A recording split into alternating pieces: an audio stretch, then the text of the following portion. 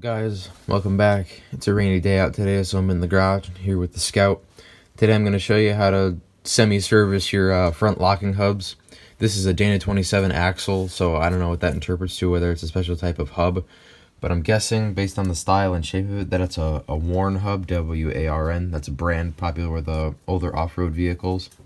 But um, it does still work but the only reason i'm servicing it is just because um, when i had the the other wheel off yesterday, I noticed that uh, there was like some white grease behind the hub, and so I was like, all right, let me just pull the thing off. And someone filled these with like white lithium grease or like aluminum uh, grease, which is just like a really white, like a sour cream substance, which is not what you're supposed to use. You're supposed to use uh, like a synthetic uh, wheel bearing grease like I have here. so all I'm gonna do is just pull them off, take out the bearings, clean them up, and repack them, install them clean up the face of the hub, paint the insides black, and polish the rest up brass. I already did it on this side, it looks good. So I'll set you guys up, pull the tire off, pull the brake drum off, hose down uh, the pads and the shoes and everything, because these work just fine. The bleeders are slightly stuck on the wheel cylinders, so crack those loose. So we'll just kind of give this a whole once over in service to make sure it's safe for me to drive on the road when I get to that point.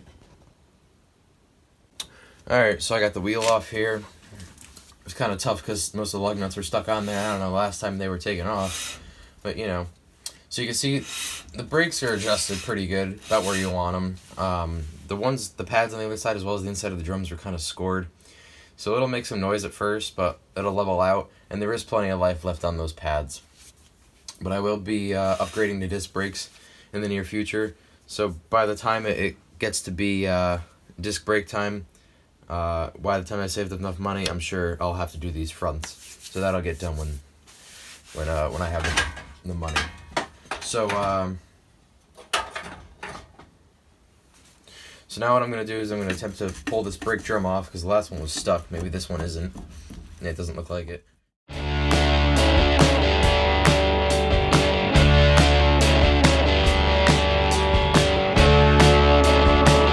Alright, so these don't look half bad. Uh, actually, I'm missing a bolt right there. I didn't take that out. It's gone. I might have another one. It's just a grade 8 bolt. Um, I'm, I'm sure I have the thread. Uh, so, these springs are not bad. Wheel cylinders, I haven't tried to break loose the, the bleeder yet. Um, I'll do that after I'm, I'm all said and done with, with pulling the hub apart. But, uh, yeah, it's a little stiff. Um, like, but this is really nice, but like it doesn't free float like you want it to. And that's probably because that grease, it's not what really what you want to use at all. But um, before I go touching anything else, I'm just going to kind of hose this down. Or, you know, I'll pull the hub off first, and then we'll hose it down with some brake clean. I got a, I got a bucket over there. So uh, I'll set you guys up again, and we'll start pulling this thing apart.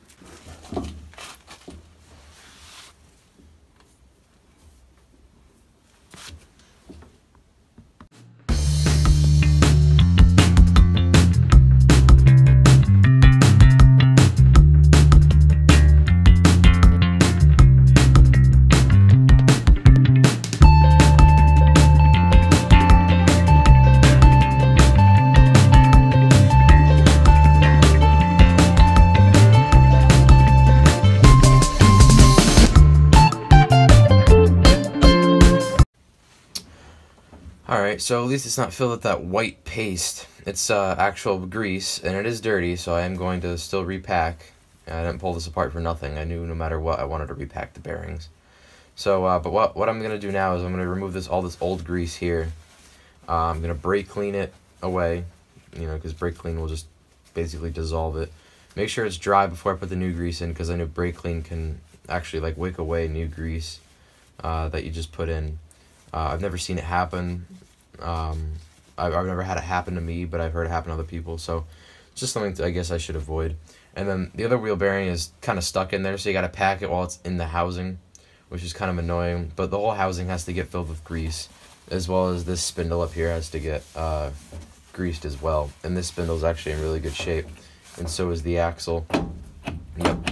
They both got that play for a reason. This is for the locking hub, because the way the locking hub works is you got uh, the hub here, and as you rotate this in either direction, whether you're making it free or you're locking it, uh, I don't know how well you could see it, but if you want to lock it, you're going to be pushing the physical axle into the housing like it is right now. So I can't turn this, but now I can turn it when I pull it out. So that was pulled out, pushed in. I could still turn it, but I'm turning the wheel on the other side. As if the other one was locked too. You have to have them both locked in order to make the whole assembly spin. So yeah.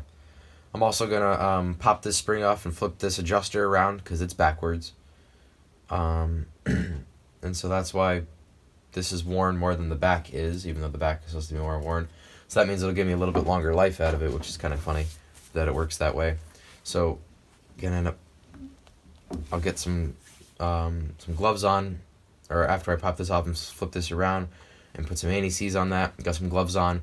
We'll repack those bearings, hose this down, brake clean, clean everything else up, polish the hub up, paint it black, sand it down, throw everything back on, clean up the wheel, put the wheel back on, and we'll be done.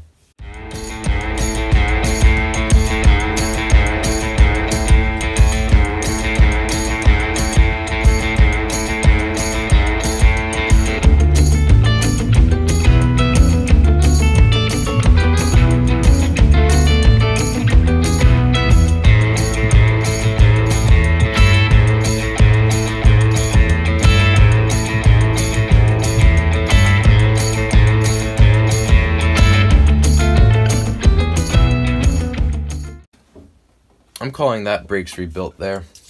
Used about the full can of brake cleaner. You know, just hosing her down. I got four more of these. I'm all set. Um, yeah, so I'm not even sure I really want to touch half this stuff. Just because it's going to have this kind of sconge on it now. So I might drag it with a paper towel here. But you know, so just like Ah, you know, not even gonna mess with it. Yep, it's going in there. Um, so now I'm just gonna get a rag to clean up this spindle surface, or I'm gonna let it. I'm gonna wipe it while it's wet still. Um, the pads look good. Springs still look good. Got the spring on. It took me forever to get it on. Gonna adjust the brakes by hit, you know, getting a little uh, the spur here, adjusting that out. Um, just blast the drum here quick.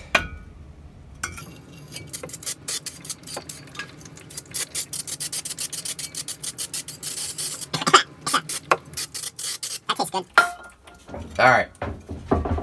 That's the drum. So now, um, I'm gonna wipe down the spindle, and you'll just watch me repack the rest of it and clean up the bearings.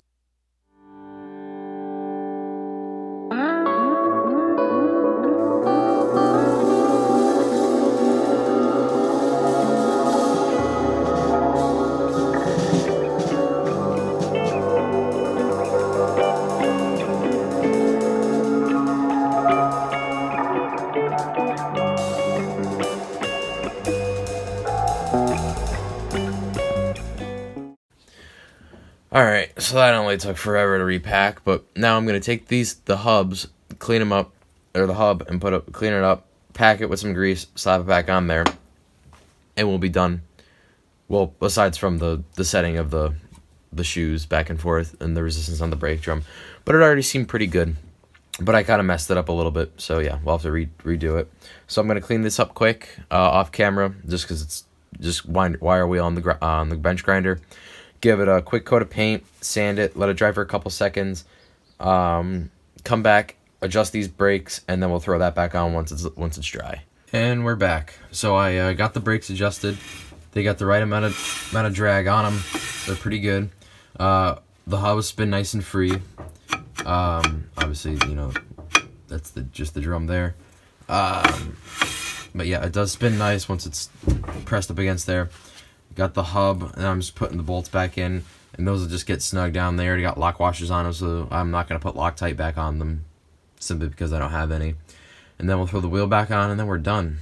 Yeah, so that was, uh, I'm going to go ahead and end the video here, just because it's basically the same thing as what you saw before, only I was taking the wheel off. So these just get locked down, and everything like that. So this was a, just a look into a Dana 27 hub, uh, an axle, here and uh, how to adjust the brakes, uh, as you know, and stuff like that. So hope you guys enjoyed. If you have any questions, feel free to comment or email me. Um, and uh, yeah, we'll see you guys in the next one. Thanks for watching. Bye bye.